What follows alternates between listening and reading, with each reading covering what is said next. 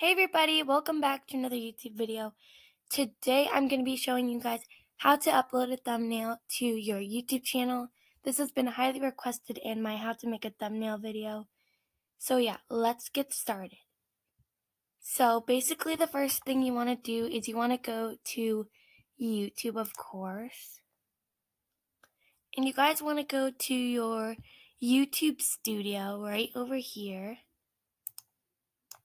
And then here you go, you're at your videos, and then you're want to upload a video right here, but I don't want to upload a fake video right now.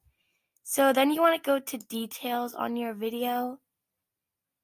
And then once you're here, you want to scroll down and then you can see right here that you have the option to um, add a thumbnail. And right here, it would say um, add thumbnail and then you would want to tap or click on that and then you could it'll bring you to your files and you can pick any um, thumbnail you want and if you pick the wrong one you can change it with the change button or the download button.